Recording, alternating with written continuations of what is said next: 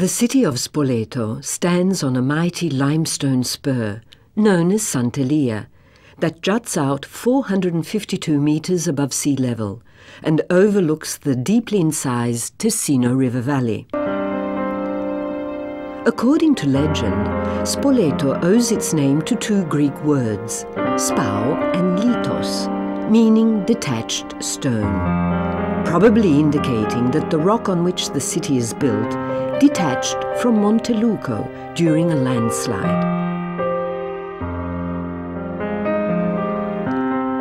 The Great Rock is the last of a series of hills dominating the plain. These include Colle Risana, Monte Pincio, Colle Attivoli and Monte Luco, which in turn are bounded by the steep slopes of Mount Fionchi and Mount Somma. The many springs in the district are fed by waters that infiltrated the permeable surface. The surrounding plain instead is formed by impermeable clay soil. These characteristics favoured the first human settlements. The most ancient archaeological finds are from the Middle and Late Bronze Age.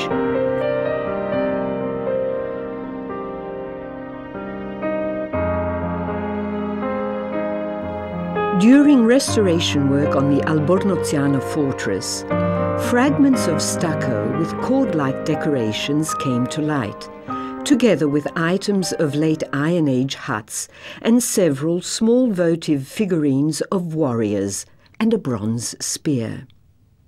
This bears witness to the presence in the 5th century BC of an Umbrian type of sanctuary situated on the hill.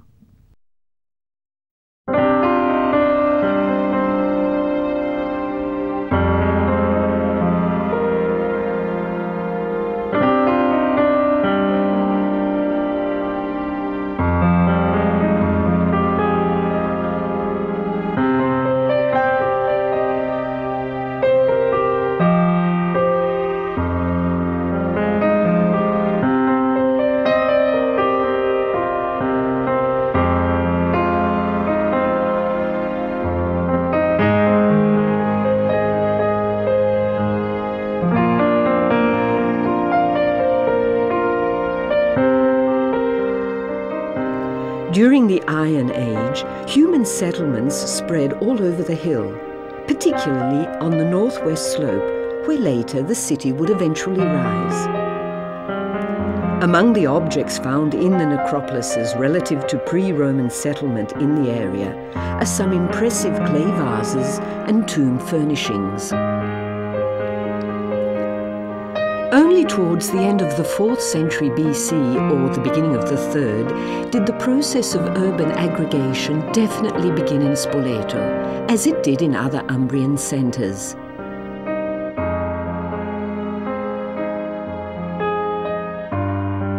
Important evidence of Roman penetration into the area can be found in a treasure trove of bronzes dating back to the time of Roman colonization.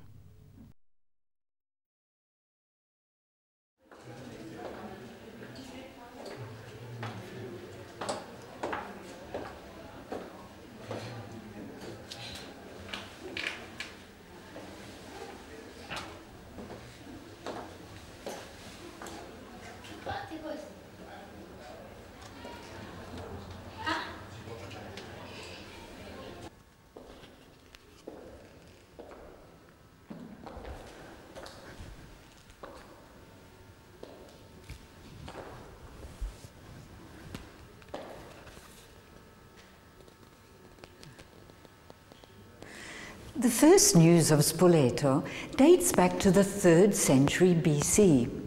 In this period of disputes between the Umbrians and the Romans, the town was caught up in the repression that followed the victory of Sentino by the Romans in 295 BC.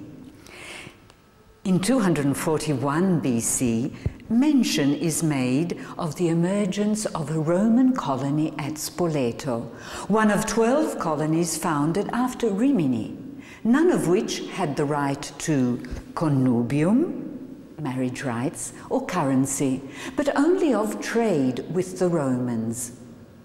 The wide valley of Spoleto was divided between the Roman settlers and exploited to the full.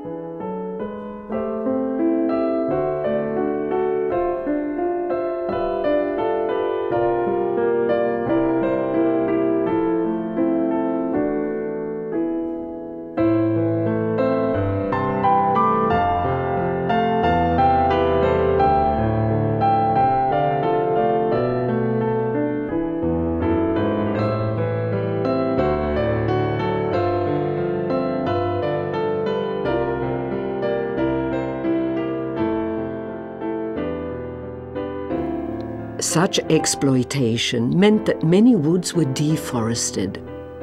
The woods supplied the new colony and Rome with an enormous quantity of lumber.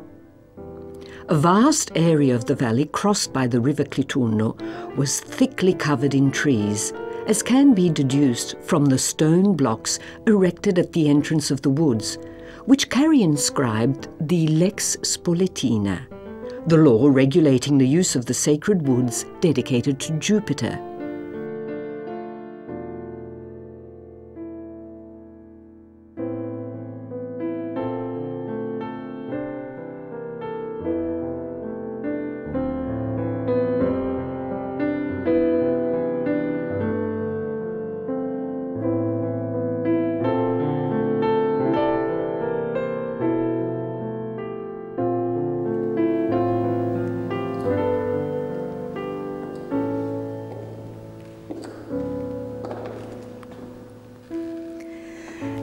Later, in 217 BC, during the Punic Wars, and after his victory at Lake Trasimeno, Hannibal tried to lay siege to Spoleto, but was fended off. Thanks to the resistance of the town, he was forced to make a detour, and instead of proceeding to Rome, he headed for Campania for its loyalty to Rome and its offer of military aid, and for its obedience to Rome, the town was rewarded with a public announcement of gratitude on the part of the Roman Senate around 209 BC.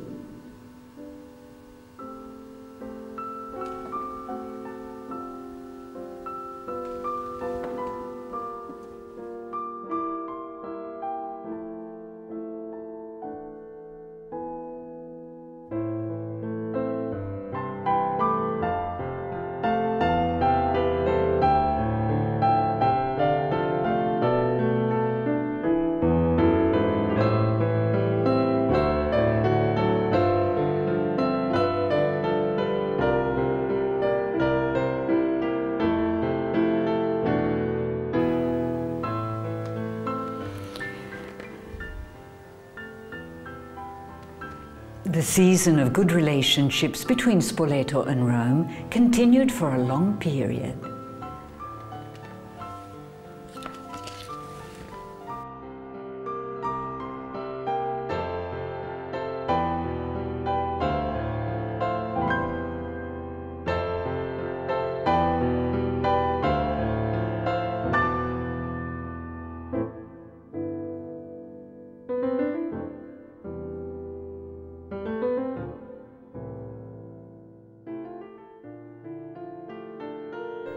Wall of about 1,500 metres in polygonal blocks surrounded the town.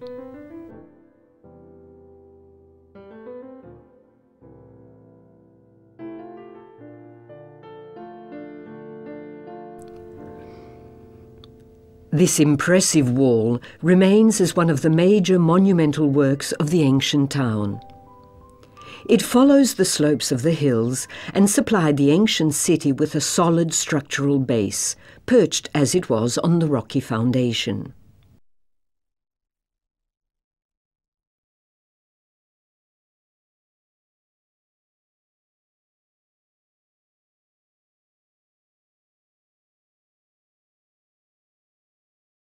The Acropolis stood on a hilltop in the sacred area of Sant'Elia.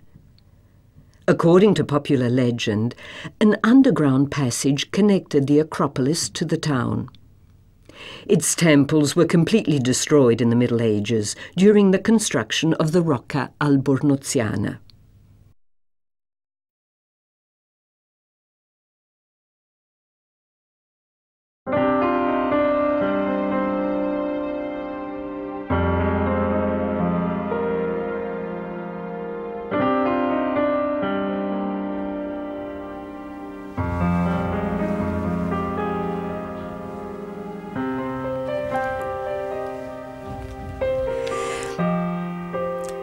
Monumental grandeur and majesty of the important public buildings came about in the first century BC, thanks to the introduction of cement that facilitated their construction.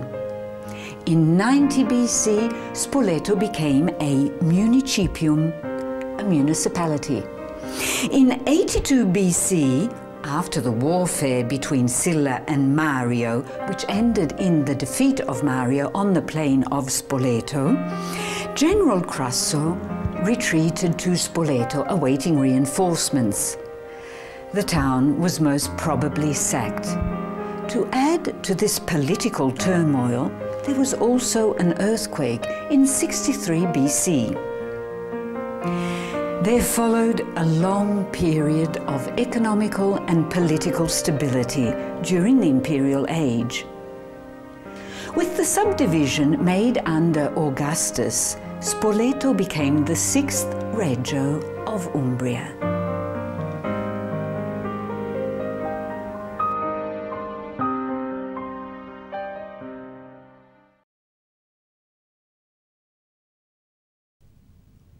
A fragmented inscription found on the cistern of the Roman villa reads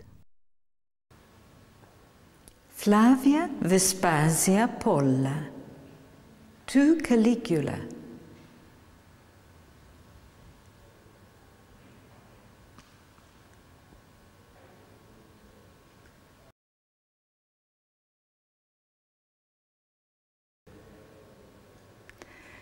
Tradition has it that the Roman house belonged to Flavia Vespasia Polla, the mother of Emperor Vespasiano, who ruled from AD 69 to 79.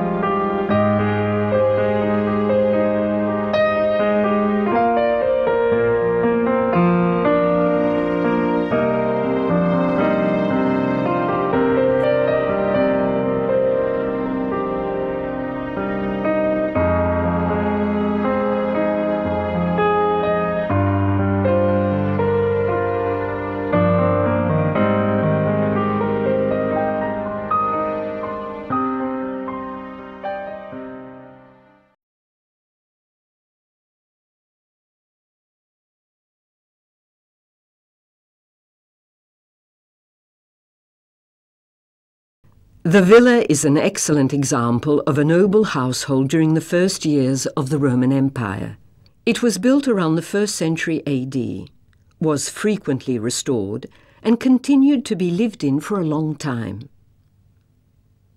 As with most Roman residences of important social standing, it lay on a long axis that went from the entrance hall, fauces, through to the central room, atrium, down to the main reception hall, tablinum. The Roman villa was open to visitors and the owner's social and political events took place there.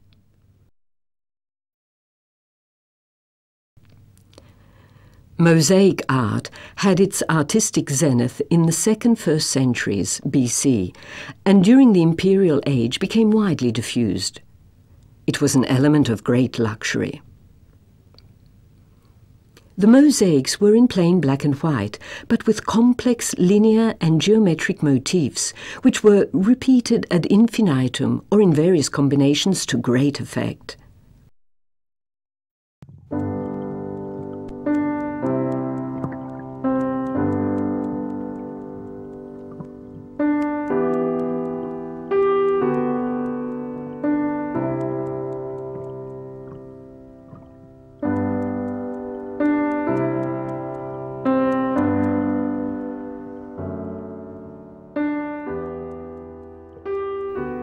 The Forum was the judicial and political centre of the town.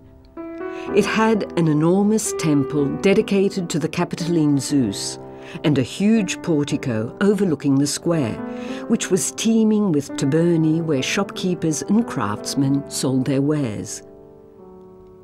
It was situated in the square where today's market is found.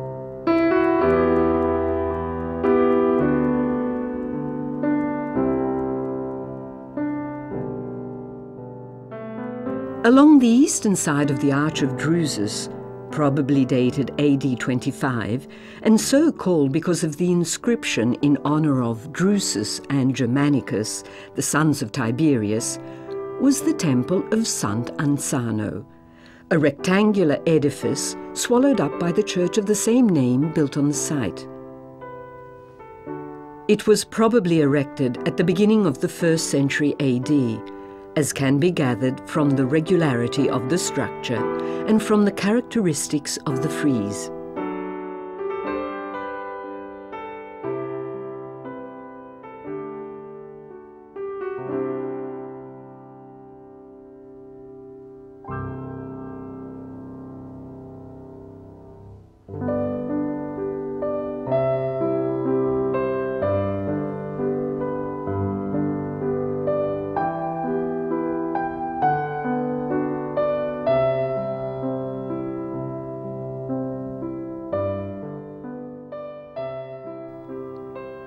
The southern slopes of today's urban area is the theatre, which dates back to the 1st century BC. Of the few surviving items found in the theatre, there are two portraits that give us some idea of chronology. One is from the time of Julius Caesar and the other of Augustus.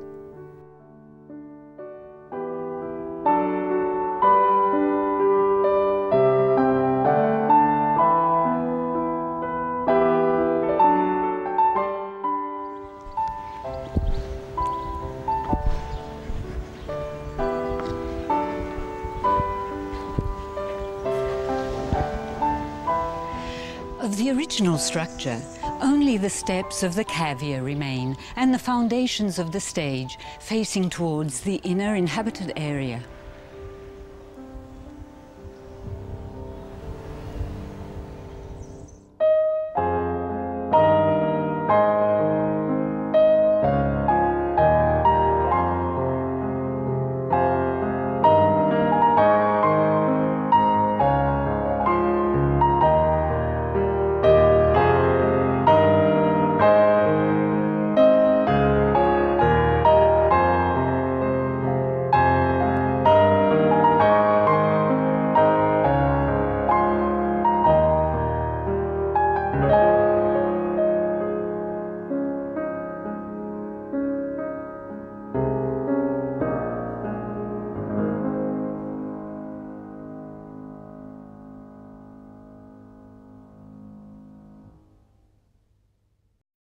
The theatre was built on an artificial platform.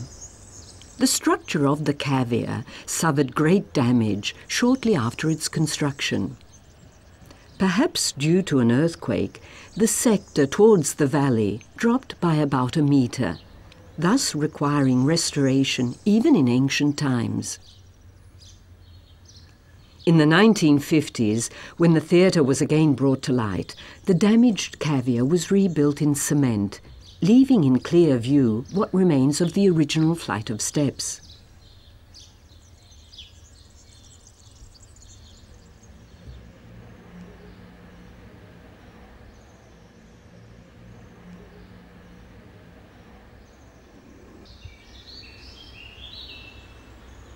The cavea is 70 metres in diameter and is composed of a series of radiating spaces designed to sustain the external steps.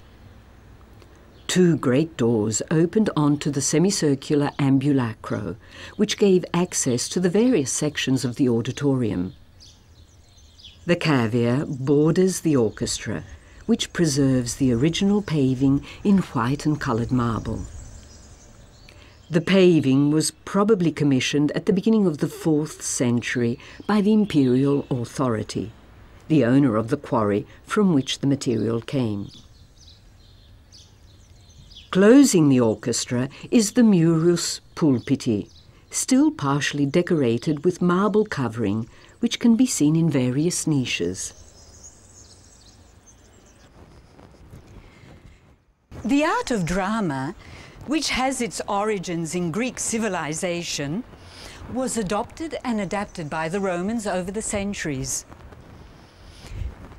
In the last years of the Roman Empire, it was widely popular with everybody, irrespective of class or social position. Cicero, an enthusiastic fan, describes the development of other forms of theatre besides the traditional comedies and tragedies of the Greeks. These include popular rustic plays, burlesque and farce, as well as mime and satire.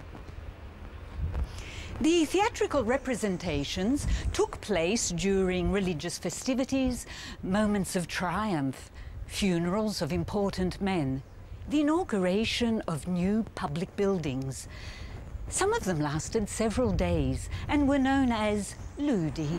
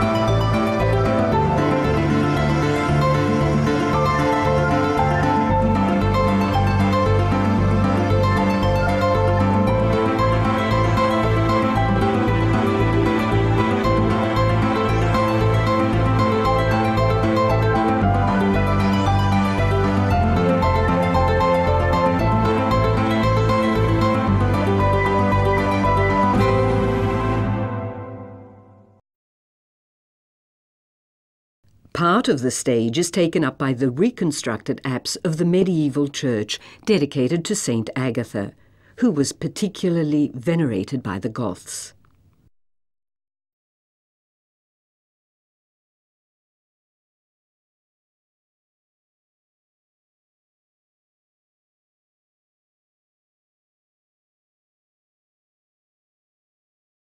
The Archaeological Museum is situated within the monumental complex of St. Agatha.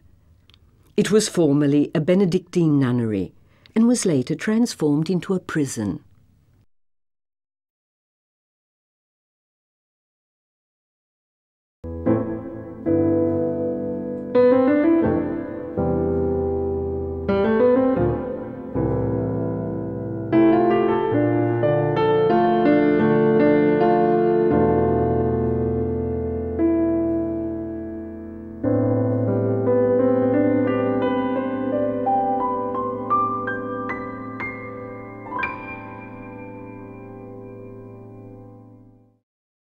Two arches of the ancient Sanguinario Bridge were discovered in 1817 on the bed of the river Tessino, near what is now Piazza Garibaldi.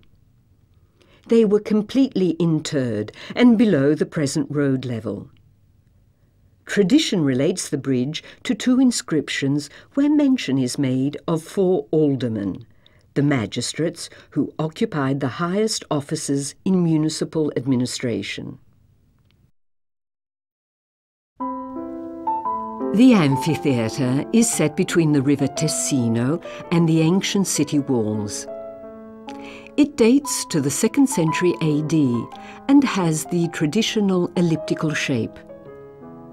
The first mention of it is in AD 545, when, during attacks on the city at the time of the Gothic Wars, Totila used it as a fortress. There is evidence also that a part of the arena was used by the church of San Gregorio de Griptis from AD 1115. Later, the amphitheatre was occupied by the convent of the Poor Clares. Many shops sprang up around it, and in the 14th century it was progressively dismantled for the construction of the Rocca Albornoziana. It was used as a kind of quarry or source of building materials. The building of the medieval walls must have been the cause of the disappearance of the northeast section of the auditorium.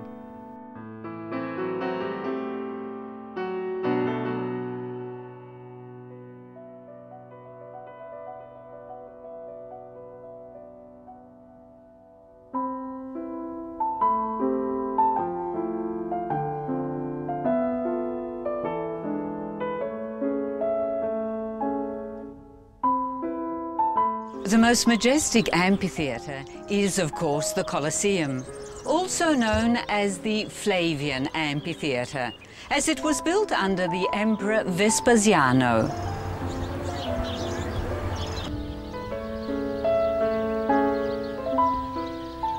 of the Flavian dynasty and completed by his son Titus.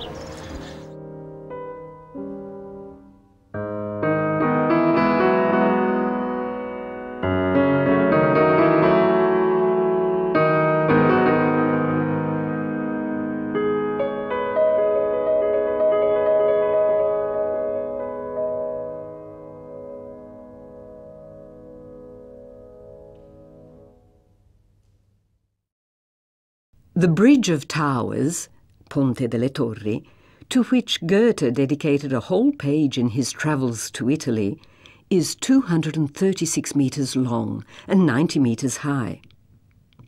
The colossal bridge is formed by ten arches and stone pillars and connects the Sant'Elia and Monteluco hills.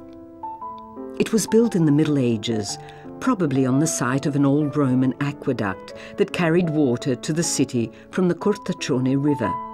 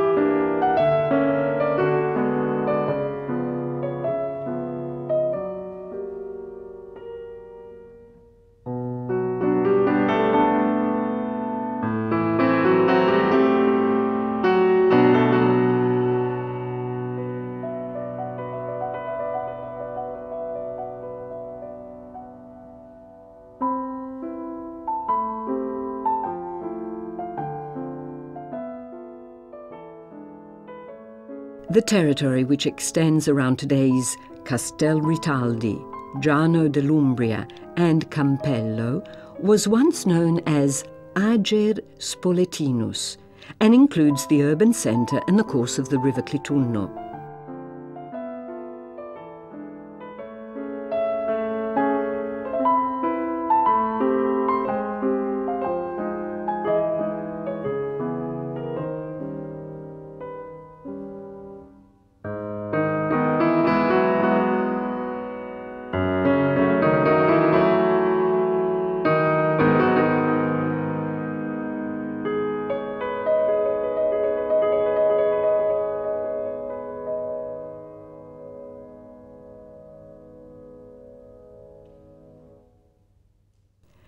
The river Clitunno was much wider than it is at present and was navigable like the Tiber until an earthquake in AD 446 reduced it to a mere stream.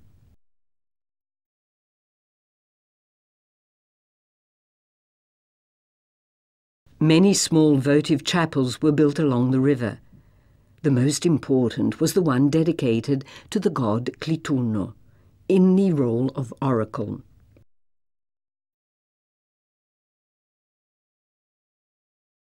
The little temple of Clitunno was constructed in the Middle Ages with precious materials and local stones taken from the funeral monuments and temples found in the immediate neighbourhood. This probably accounts for the classical architecture of the temple.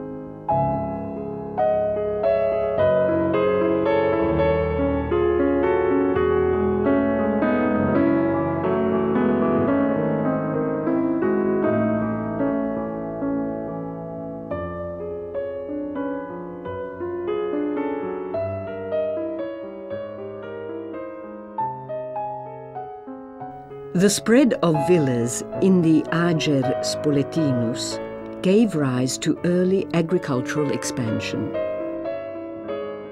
The tombs and funeral monuments discovered in the countryside around the town bear witness to the settlements.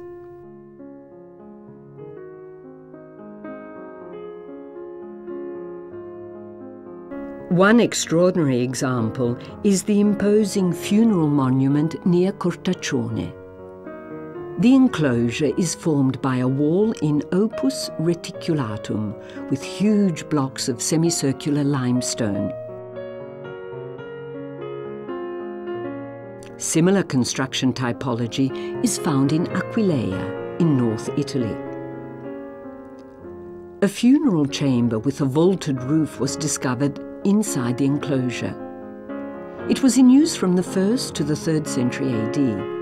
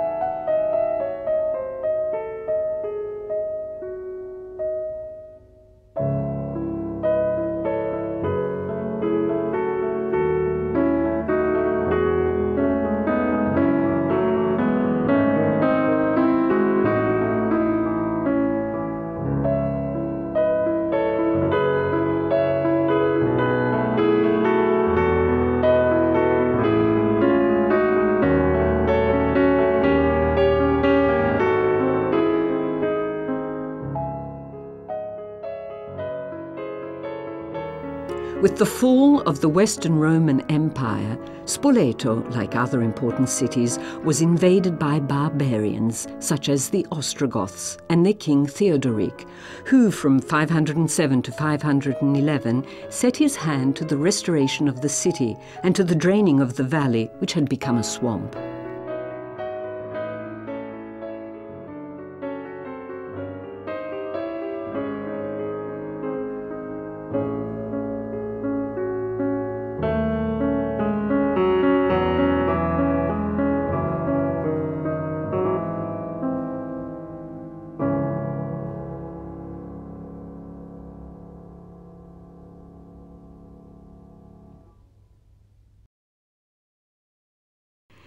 576, after invading the whole of Italy, the Lombards chose Spoleto as the capital of one of the most important duchies, extending the political influence of the city across central Italy as far as the Duchy of Benevento. The Abbey of Ferentillo, where the first dukes were buried, testifies to the presence of the Lombards in the area.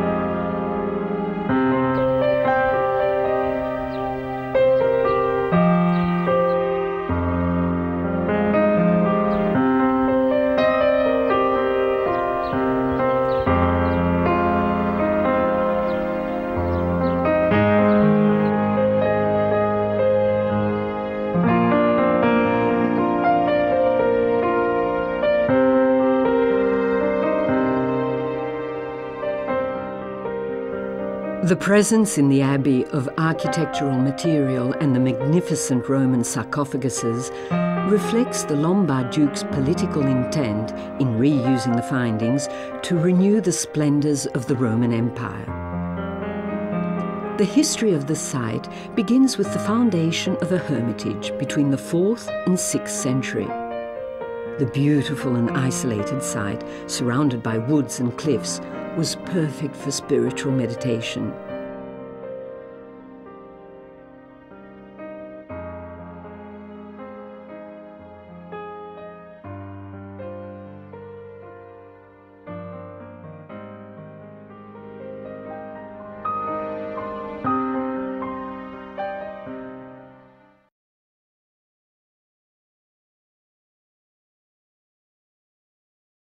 Inside are five beautifully preserved Roman sarcophaguses, among which are those of the saints Lazzaro and Giovanni of the beginning of the fourth century, and one that dates back to the second century, where tradition has it the body of Duke Faroaldo, the founder of the abbey, was placed.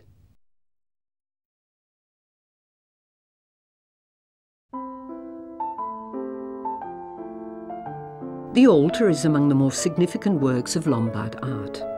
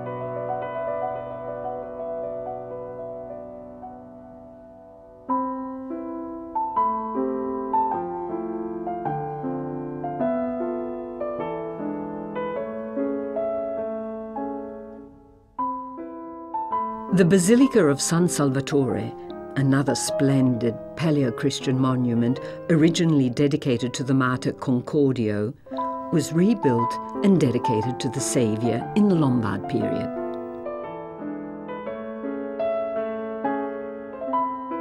The basilica is an exceptional reappearance of classical style, where elements of the east and west are found. It is laid out like a basilica and was originally divided by two rows of Doric columns. The presbytery has Corinthian columns and Doric beams. The frieze is decorated with motifs of flowers and spiral designs, among which can be found the palmed cross, carved in the 6th century. It was part of a great monolith from a Roman funeral monument of the 1st century AD.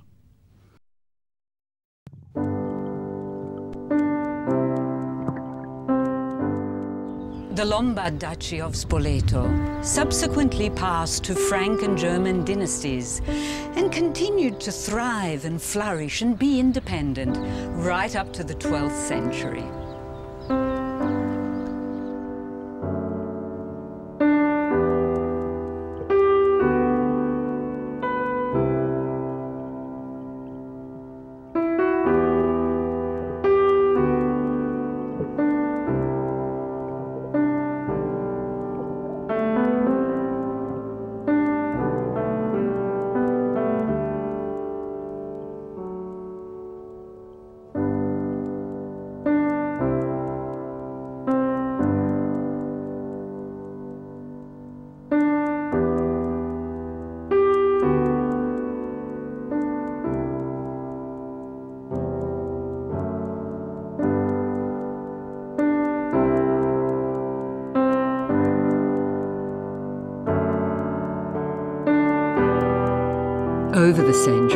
Spoleto has held a leading role in history. In the last 50 years, it has transformed from a strategic stronghold to a cultural centre of international fame. Its spectacular historical monuments and its natural beauty form an exceptional backdrop to the many prestigious manifestations dedicated to art and in particular to music and ballet, with which it welcomes and entertains visitors from all over the world.